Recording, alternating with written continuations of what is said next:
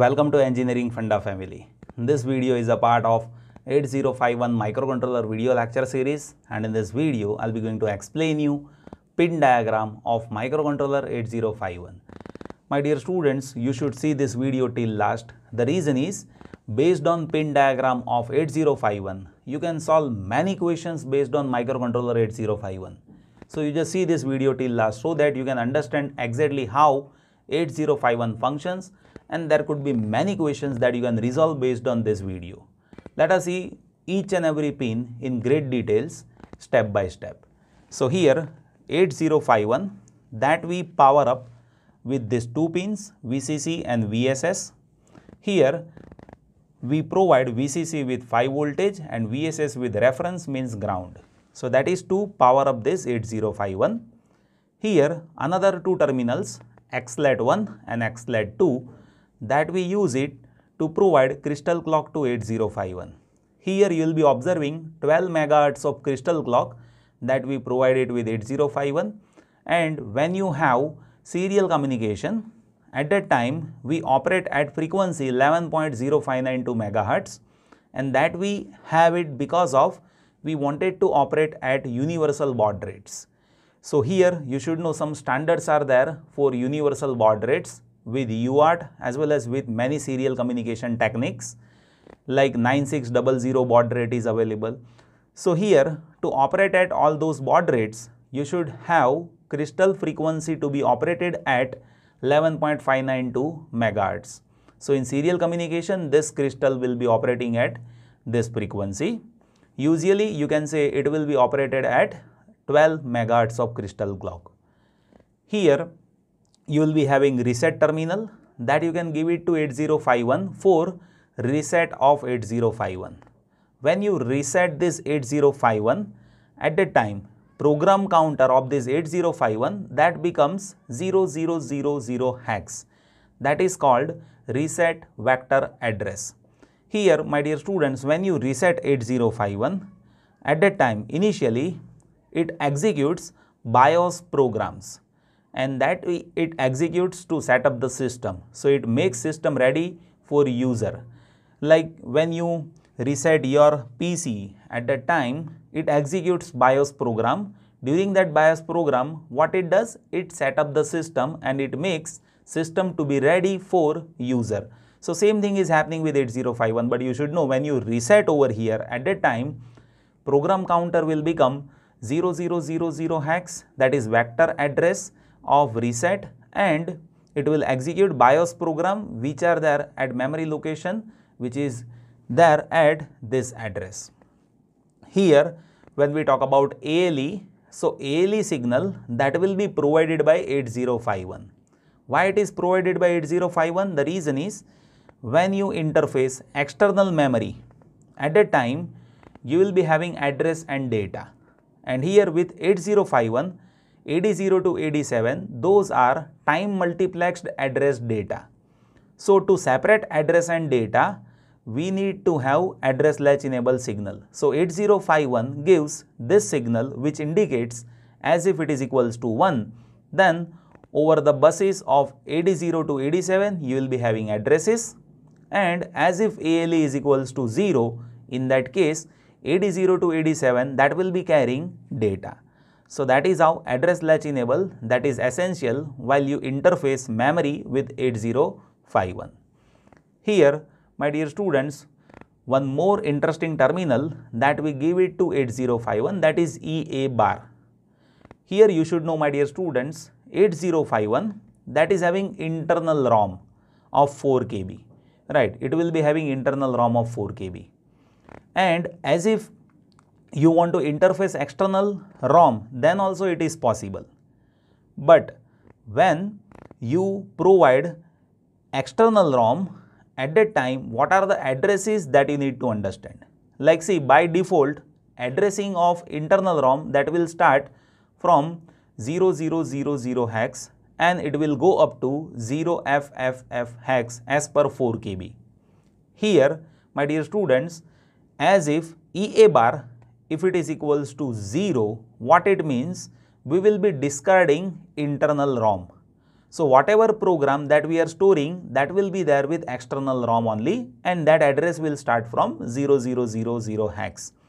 At max with 8051 we can interface 64 KB of external ROM and as if you want to discard internal ROM then you should make this EA bar is equals to 0.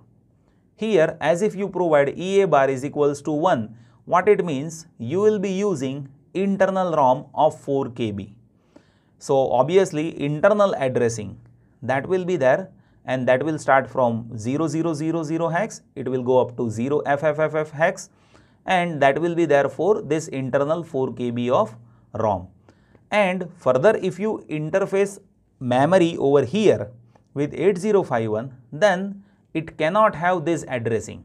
So you will have to use external ROM with the address range that will start from here onwards. So from this next address will be 1000 hex and from then onwards you can use external ROM. So when you give EA bar is equals to 0 at that time you will be discarding internal ROM and when you give EA bar is equals to 1 at that time you will be using internal ROM and it is not like when you use internal ROM you cannot use external ROM you can use but for that you will have to provide separate addressing.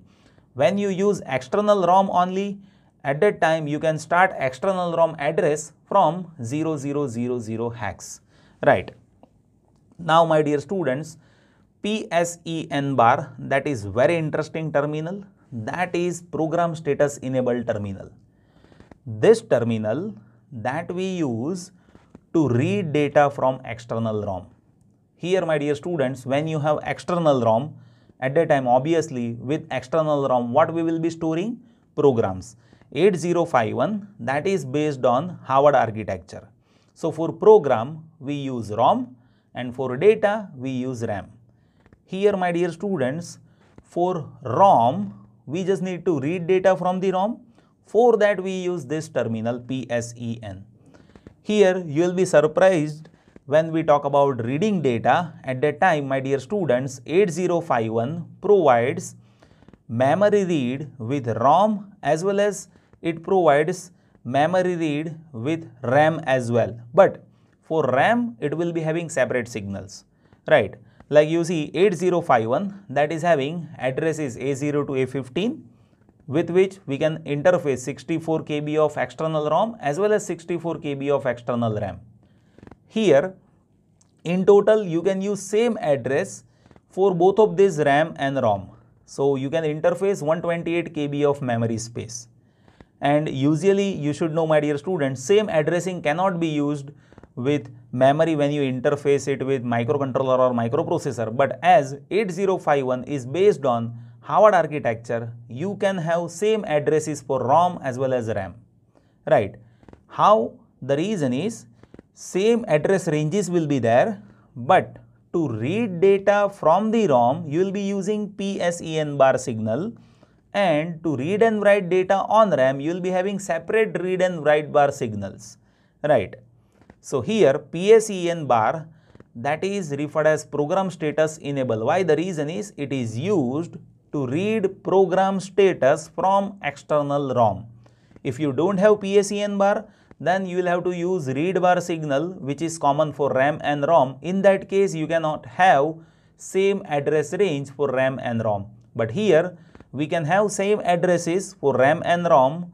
Why? The reason is to have read operation from ROM we have PSEN bar and to read and write from RAM we have separate signals.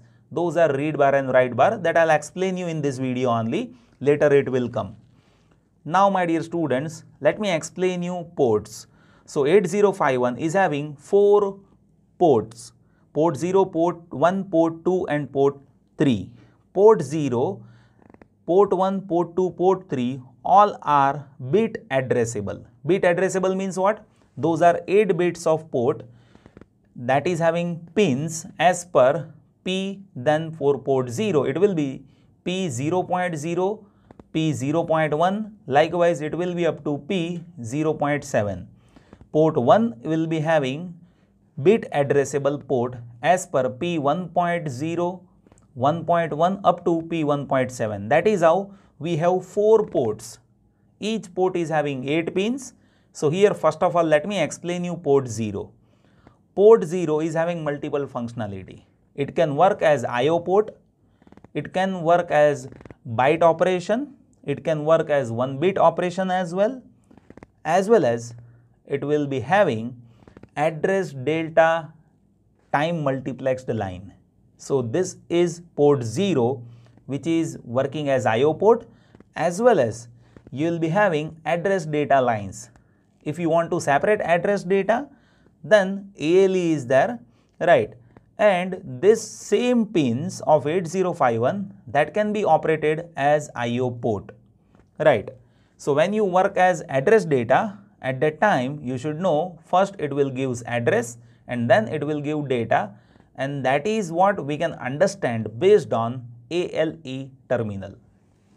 Here my dear students port 1 that is as per P1.0 to P1.7 it can be there as per 1 bit operation it can be there as per 1 byte operation. In byte operation you can have all 8 pins in bit operation single pin can be used as it is used with P0 port. But here my dear students, you should understand port 1 is not having multiple functionalities as it is there with port 0. Like port 0 can work as IO port as well as it is having address data lines. Port 1 is only having IO port. It can be there as per byte operation, it can be there as per bit operation, right? But it is not having any alternate functions. Now when we talk about port 2, then you should know my dear students, Port 2 is also bit addressable, it is also byte addressable. Here you can have multiple functions with port 2 like as port 0 was carrying address data along with IO port. Similarly with port 2 you can have port 2 as well as it will be having addresses which is there from A8 to A15 right. So in total with 8051 we can have addresses from A0 to A15 means 16 address lines are there and 8 data lines are there. Those are time multiplexed and these ports are also used as IO ports, right. Now, my dear students, when we talk about port 3, then that is also similar to other ports, but it is also having multiple alternate functions, right. This port 3 can be bit addressable as well as byte addressable. Single pin can be used like P3.0, P3.2. Likewise, you can use any pin. But along with this, there are some multiple functions. Let us see all those functions step by step. So you see this P3.0, P3.1 that is used with serial communication that is also having RDX and TDX line. What it means? Serial receive data and serial transmit data. That is how these two pins are used for serial communication. Here, you will be observing this P3.2 and P3.3 that is also used for interrupt. So, two hardware interrupts are there, INT0 and INT1 and here by default you should know INT0 that is having higher priority compared to INT1. So these two pins that can also be operated with respect to interrupts. Here port 3 with P3.4 and P3.5 we have T0 and T1 in which you can take clock input to timers. You should know 8051 is having two 16 bits of timers and as if you want to use those timers as counter then you can provide clock at T0 and T1 terminal those are also port P3.4 and 3.5 bits. So this can be used as IO port as well as we can use it that at as a clock input to this timers. Here when we talk about another two pins, so that is what read bar and write bar that is there at P3.6 which is there with write bar and P3.7 that is at as read bar. This is what we are using it to read and write data onto external RAM. So you see when you want to read data from external ROM, you have PSEN bar, right? But when you want to read and write data on external RAM, at that time you have read bar and write bar. Here, my dear students, you should know 8051. That is based on Harvard architecture. So here in Harvard architecture, program and data memory is separate.